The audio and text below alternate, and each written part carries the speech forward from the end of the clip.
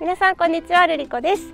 ただいま私は愛媛県のアッププレイスさんにおります。今日はこのアッププレイスさんから愛媛県の一番左の佐田岬まで行って楽しんでいきたいと思います。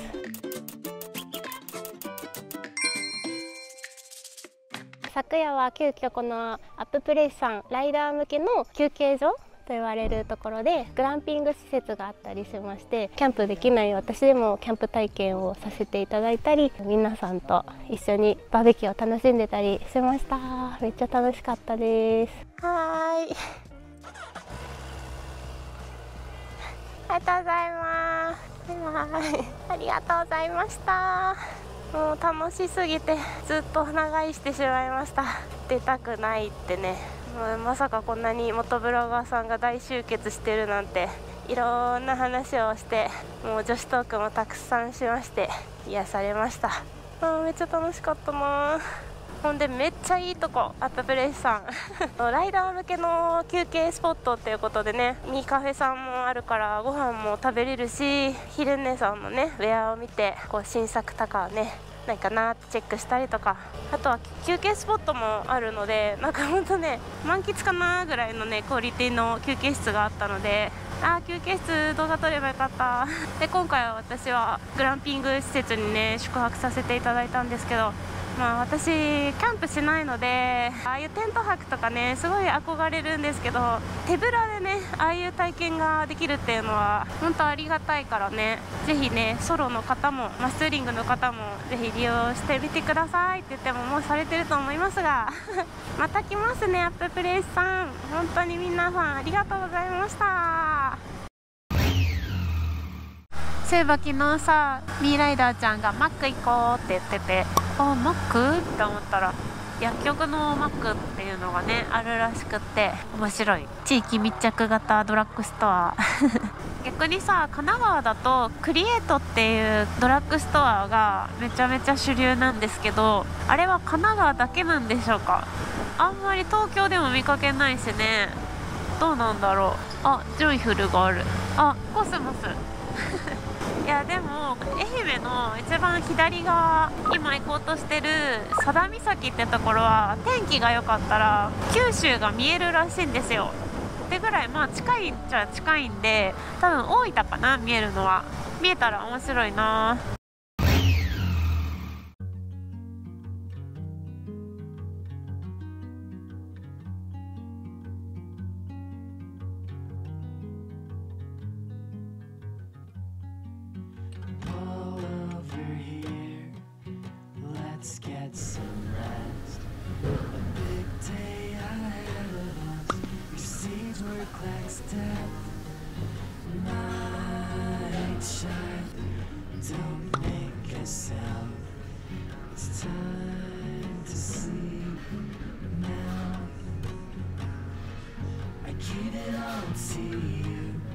なんかねすごいおしゃれな施設でですねお土産とかもあったりとかカフェもあったりとかあのここが四国と九州をつなぐフェリーのね発着場だったみたいでなんとね四国をね観光中でこれから九州に帰るよっていうね視聴者さんに声かけていただいたりと嬉しいね。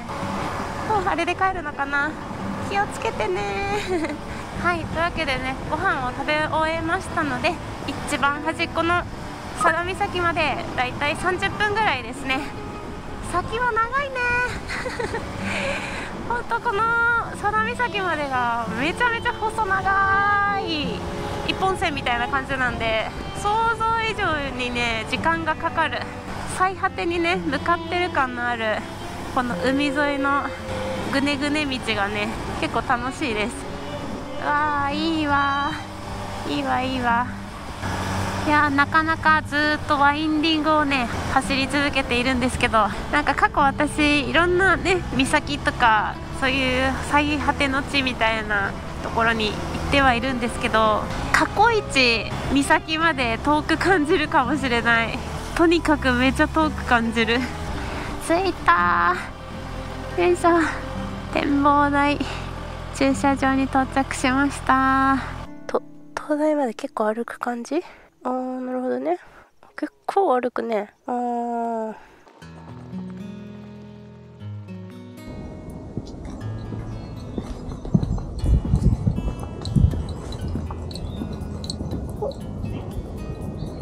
見えた。東西見えました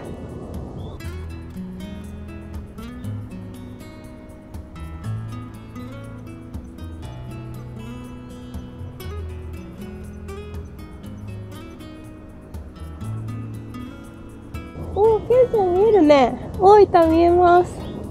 おー、お、またすぐ行くぞお。お、すごい。あ、すごい。風車が、風車がすごいよ。はい、今ね、岬からまたね、戻ってるところなんですけど、こう風車とね、写真が撮ってるスポットがあるんだよって教えてもらって、ここに来てみたんですけど、おー、すごいですね。お、怖い。怖い。近い。どこで撮ればいいんだ。おー。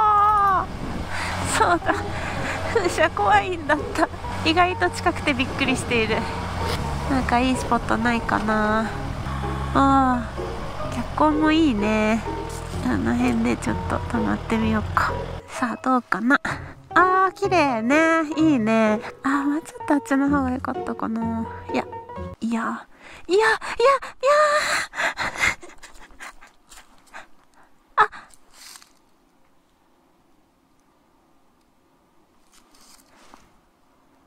これどうしようヘルメット投げないな私。怖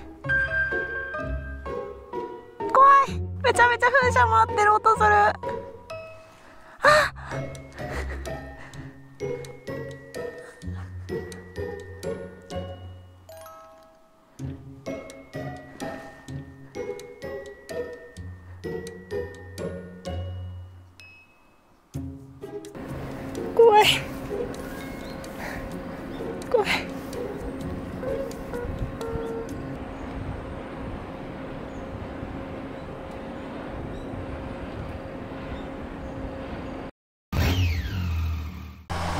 こちらはですね378号線の夕焼け小焼けラインというねもう見ての通り夕日が綺麗ですね。ちょっとね反対側なんであ多分カメラ越しだとめっちゃ綺麗だろうな。これはもしかして反対車線で走ってる方が夕焼け小焼け感を味わえるのかな？てかねもう鼻がね両方とも封鎖されてしまって完全にね口でしか呼吸ができない人になっております。苦しい。うわいい。いいね。海が近いねこの辺りはね走ってても。あーめっちゃ綺麗。あーやばい。あー。あどうしてもねこの道はこの時間に走りたくって。なのでこのルートと時間配分をねちょっと計算してきました。どや。あら綺麗あら綺麗いい。でこのままですね。しばらくこの道沿いに走っていくと有名なインスタ映えスポットって言えばいいのかな。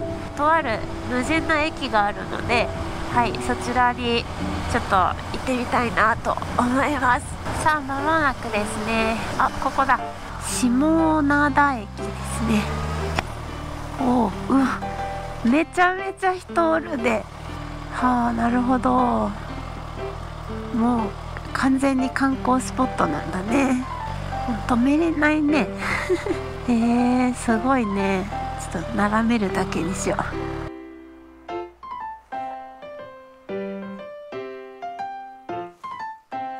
あはい。逆にお願いしてもいいですか？すいません。ちょっと人多いし止めらんないからもういいやと思って。もうなんかあの看板がちょっとちらっと見えただけ。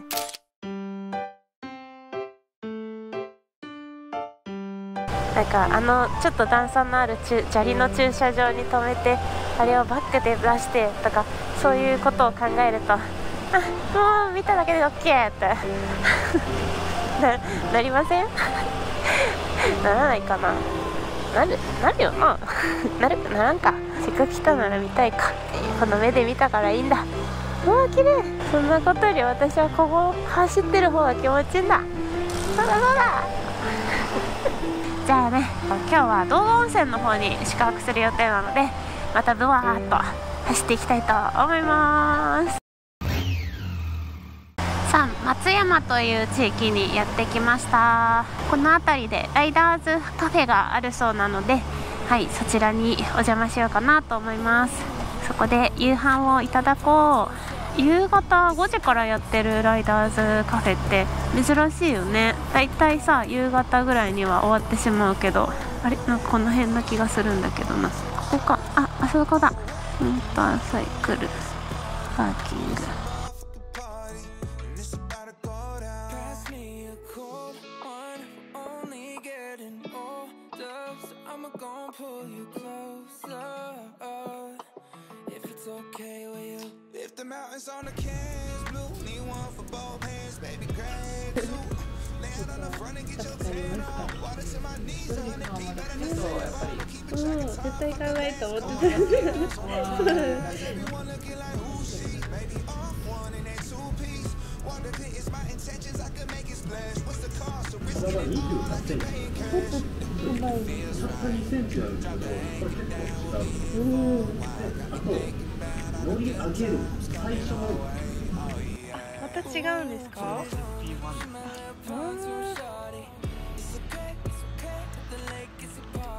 はいありがとうございます。ありがとうございました。いやとても良いライダーズカフェでした。もう常連さんに愛されてるんだなっていうのがすごく伝わりますね。いいよねそういうホッとできる場所があるっていうのは。さあ美味しいパスタもいただいたので私は今日の宿に行きましょう。温泉温泉。わあすごいいきなり都会になりました。ほんで右に見えるのはね松山城？今日の宿はですねせっかく道後温泉の付近に来るので温泉に入りたいなと思いましてそんなところねあのオンオフのオーナーさんがバイク乗りにも優しい温泉が入れるホテルを教えてくださってビジネスホテルなんですけどなんかね温泉施設がすごいね充実してるらしいんでめっちゃ楽しみです。あのビジネスホテル太平さんですね。多分この屋根のとこに止めていいんじゃないかな。